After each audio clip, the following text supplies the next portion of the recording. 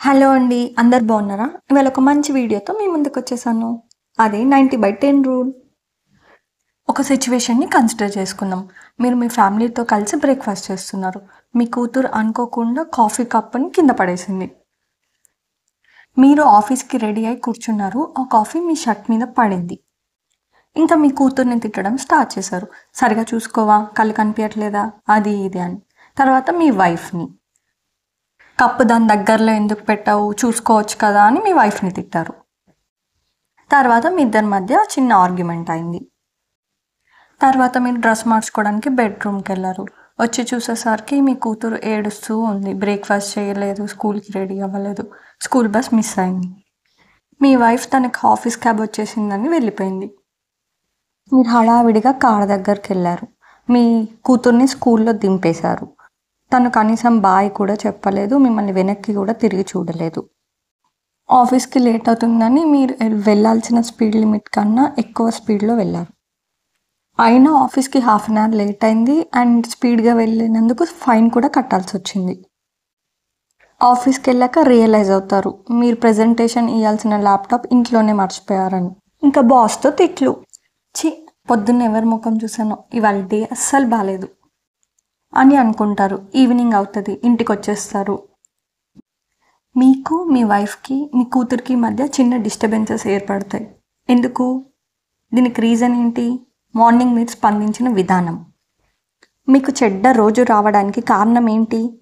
కాఫీయా మీ కూతురా? ట్రాఫిక్ పోలీసా మీరేనా?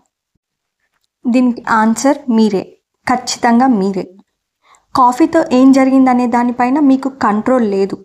ఆ ఫైవ్ సెకండ్స్లో మీరు ఎలా స్పందించారు అనేది మీ డేని డిసైడ్ చేస్తుంది. మీ చెడు రోజుకి కారణం ఇదే. ఇక్కడ ఏం జరుగుండొచ్చు? అండ్ ఏం జరగాలి? అయ్యో కాఫీ కింద పడిందా?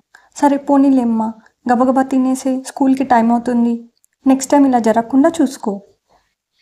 అని లోపలికి వెళ్ళి డ్రెస్ మార్చుకొని వచ్చి మీ పాప స్కూల్ బస్ ఎక్కడం మీ విండోలో నుంచి చూసి మీ వైఫ్ని ఆఫీస్కి వెళ్ళే ముందు హక్ చేసుకొని ఆఫీస్కి వెళ్ళచ్చు. మీరు ఆఫీస్కి ఫైవ్ మినిట్స్ ముందే రీచ్ అయి ఉంటారు.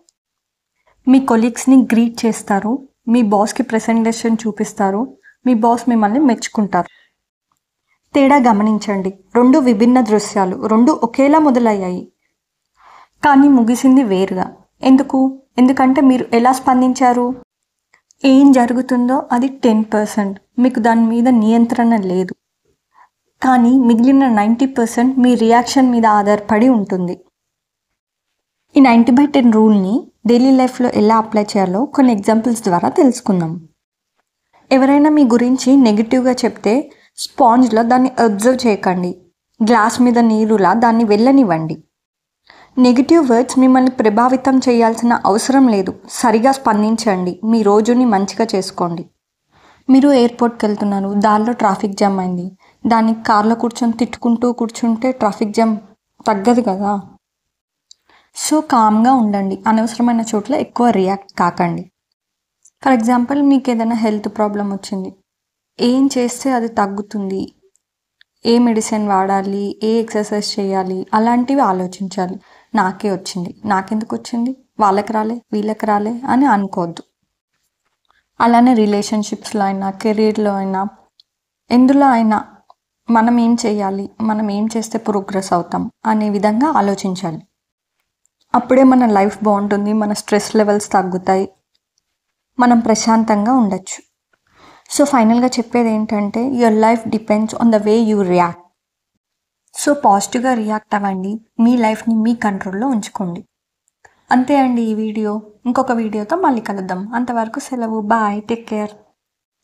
Keep smiling. Have a great day.